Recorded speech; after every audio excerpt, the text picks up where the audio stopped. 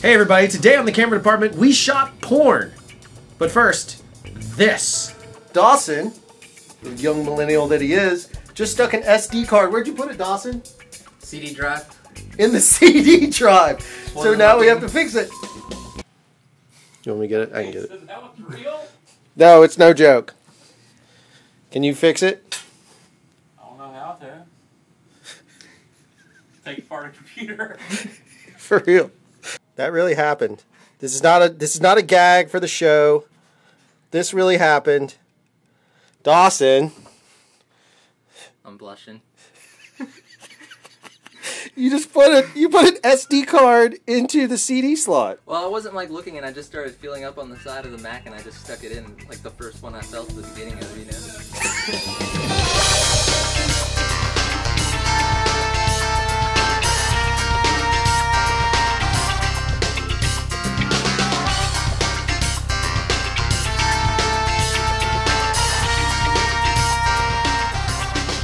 I said, we shot porn. We're gonna show you that. Don't worry. Uh, it'll be after a few things. But the other thing we wanted to talk about that kind of relates to that in its own weird sort of way, we wanted to do a lens comparison test because we've we've often been asked what's our favorite lens. Well, you know, we it's hard to answer. I don't really have a favorite lens. Asking me if I have a favorite lens is like asking me if I have a favorite child. And I'd put both of them in a drawer if I had to. That's probably not appropriate.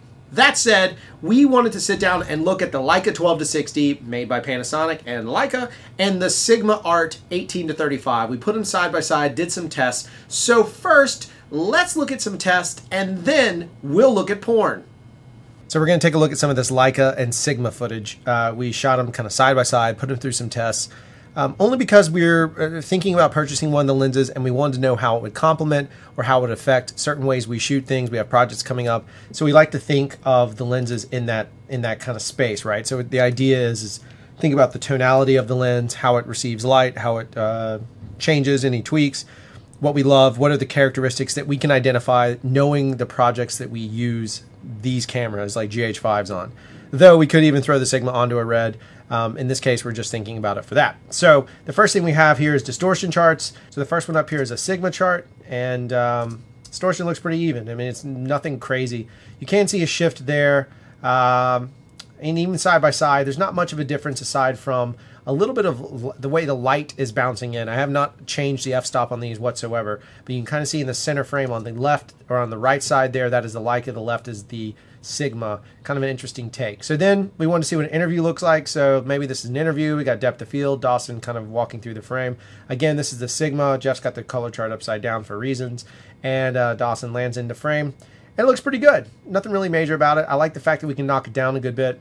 Now we see the Leica, and there's an immediate reaction to me where I see a little bit of a roll off issue uh, in terms of the way the highlights handle and the blacks are handled. Again, trying to match the step, the f stops and the lenses as much as they can. But what's really interesting is here I've zoomed in on Jeff's face. So the left side is Sigma, right side is Leica, and you can kind of see that there is a nice sharpness to that to that Sigma versus the softness of the Leica. So the the, the skin tone in the Leica has a softness to it, and the Sigma has that kind of sharp, detailed quality. The other side of it is, if you notice, it's very slight, but there is a pink uh, hue differentiation between Jeff's skin tones. So Jeff's tones look a little bit different uh, on the left image than they do on the right. There's been no adjustment. We're just shooting a natural profile, uh, one of our custom ones when we're in a hurry. So then we want to do some detail work. So this content is an old Rusty C we have, and so you can kind of see the detail on it. This first shot again is Sigma. It is super sharp. The details there. If I were doing product shots, the Sigma would be very, very handy to utilize for this reason because the detail is standing out and looks fantastic in my opinion. So then when we shift over here to the Leica image, what we're going to see with the Leica is we've punched in a little bit more trying to match the frame size. Didn't happen, but the Leica gave us a little bit closer image anyway. Detail's great out of the Leica, but it's not as sharp, meaning maybe if I was doing a product element here where I didn't want to show all the flaws, I might want to use the Leica over that of the Sigma. And that's the same case we've done when we've shot with uh, Leica Summicron Cs, is we often use those over Cookes because we want Summicron Cs to blend our talent into or subject into the background versus a Cooke where it separates from the background considerably amount more. So it's kind of thinking in terms of even cine lenses. So then we get even closer texture details. And this Sigma lens is insane. Again, seeing all these sharp, beautiful details. I missed focus a few times, but I did better focus with this Sigma lens than I did with the Leica fly on wire stuff. But looking at the detailed texture elements is beautiful. I think it's absolutely gorgeous. The color replication is fantastic. Uh, the rust is really popping. And again, nothing's been done to this. We're just showing you raw images. Absolutely gorgeous. Details there. I can almost touch that rust. It feels almost 3D. This stuff is great. It's beautiful, but the detail difference, it doesn't feel, whoopsie, it doesn't feel quite as uh, as much as it's like popping out to me. And someone was describing 3D the other day to me. Whatever. I don't want to get into that conversation. Hey, but look at the separation on it. It's still very pretty, but it blends a little bit more, which makes for a nice image. It's not bad. It's just not quite as punchy to me as that Sigma lens. And again, I like the Leica. So where does the Leica really shine? Well, this is where I think it gets interesting. The Leica on skin outdoor, I think, is really pretty. This is the Leica lens here, and Jeff is wholly and beautifully separated from that background. Um, it is a nice, clean image. Uh, we walked it in close. You might see the shadow from the microphone. There you go. And so this is the Sigma. So I walked in the Sigma a little bit more to kind of separate them. You do start to get close enough, again, because of the throw distance, where I can't really grab that as much. That's just a lens thing. But in terms of the color, they look pretty even. Again, I still see that little bit of a pink hue difference between the two images that I think uh, the Sigma has. It's kind of like doing a red and a scarlet just threw the color chart in there just to show you in case you saw it. Here's the other moment. So we shoot a lot of lifestyle stuff. So what we like to look for is slow-mo lens flares, walking around someone as they're probably talking with B-roll. So this Sigma, look at the flare on the Sigma. It is punchy. It's almost that little orange dot there, that orange orb, that UFO flying through the frame. It's almost too much, in my opinion. It's distracting, and though I'm a big fan of lens flares, and especially this sort of look, that feels like a little bit too much. So it's a very pretty piece. Um, it doesn't really work for me in the slow-mo side. As far as the color replication, everything looks fantastic. Though, watch the Leica in this next se uh, sequence here. The Leica, all of a sudden, the color is punched up. Like, it just feels more saturated in the image. It just has a punch to it. And again, nothing has changed. Shooting the same stop. Trying to match them the best we can from focal length reasons. Now, look how subtle this flare is. And I had to work hard to even introduce it into the bottom of the frame. It's just the way the Leica read it out. But Jeff just has a little bit more of a glow to them that is more in line with what we're doing as storytellers, as filmmakers. This is the kind of look we enjoy uh, for some of our docu-style type content. I love the Leica lens flares in slow-mo. I think they look phenomenal. I think this stuff looks great. And the color pop, look at the red in the background. Look how much more punchy it is. So then, of course, we switch away to the close up obligatory leaves passing in front of the sun shot. In this case, it's palm leaves because we're in the south where it is warm. Not so warm today, but it's still mostly warm. And, oh, I'm sorry, this is the Sigma lens. And the reason I can tell it's a Sigma is looking at that orange dot. That's a, a characteristic of the lens, I would call it that. So you can see that little orange orb there. Very pretty. It's gorgeous. The detail on the back of the leaves is tremendously better looking than this in the Leica shot. It kind of blends away in the Leica to me.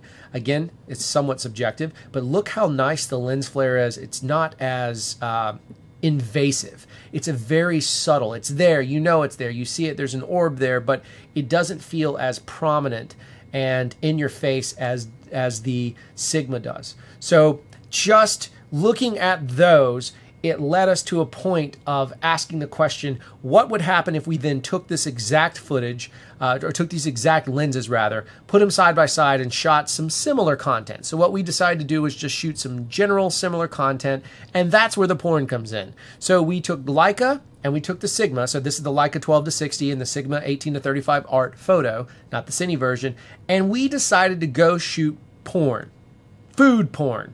So here's a little bit of food porn. It's nothing really crazy. It was for a client. But here is some of that footage. Go.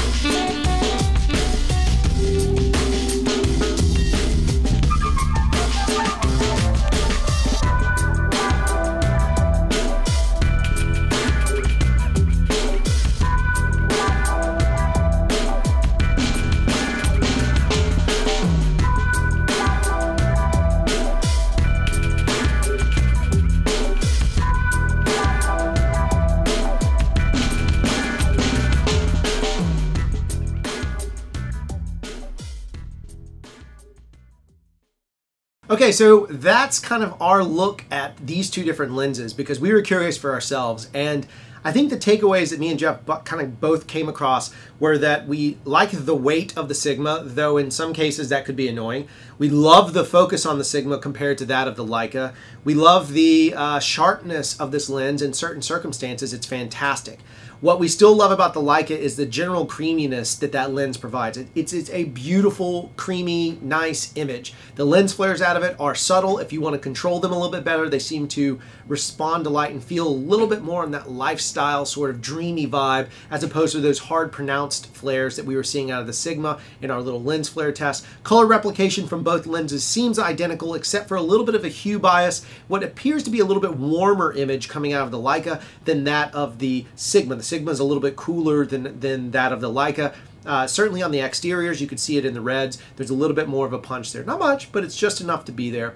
And then the Leica being so light is an advantage when you need to shoot run and gun very quickly. Obviously, the throw distance on the Leica is a 12 to 60, um, but I don't know. There's a weird thing. If I had to pick one now, I think I would change my tune. I think I've become a little bit more of a Sigma 18 to 35 fan. Um, you do need a speed booster to use it on a GH5, but if you're shooting full frame like the Red, which I wouldn't put this on a Red, but if you did, great, good for you.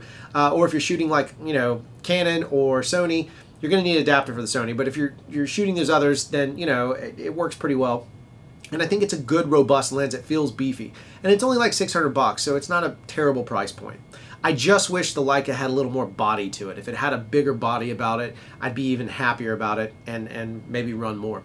The other side too is the Leica obviously is, is not a fixed uh, stop, so you do have a variable stop rate as you punch in. Uh, your stop drops versus this uh, Sigma Art, which is a 2.8 all the way through, which is fantastic.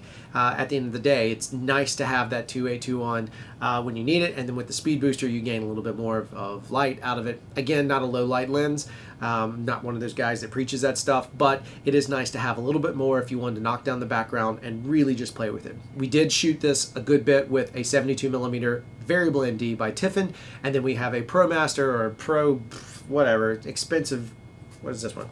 We have a, yeah, ProMaster HGX, which is their higher grade one. We shot HGX on the Lumix. Uh, I didn't see much of a difference in the two in that case. Whatever. It is what it is. We showed you some lens porn. What is your favorite? Tell us in the comments below. We'd love to have a chat about it. Maybe you've got a better idea of another lens you want us to test. We opened a new playlist called Kiss Our Glass, where we do nothing but talk about lenses. We'll add more features as we go along. So don't forget to like, subscribe, share. Somewhere around here, some links for you to click on and join us when we do live shows, typically on Tuesdays at 2 p.m. Central. Tuesdays, 2 p.m. Central, live shows. We're out. Goodbye. Happy Turkey Day.